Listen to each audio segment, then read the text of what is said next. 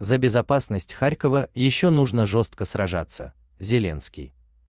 Украинские военные несут болезненные потери в Харьковской области, но за ее безопасность еще нужно жестко сражаться.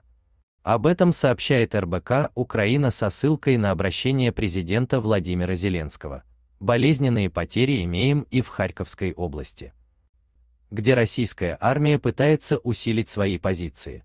Бои за это направление продолжаются, и нужно еще бороться, жестко сражаться за полную безопасность для Харькова и области. Озвучено Яндекс Спичкит, отметил он. Напомним, ранее Зеленский заявил, что украинской армии жизненно важно держаться на Донбассе. Поскольку от этого зависит, кто будет доминировать на полях боя в ближайшие недели.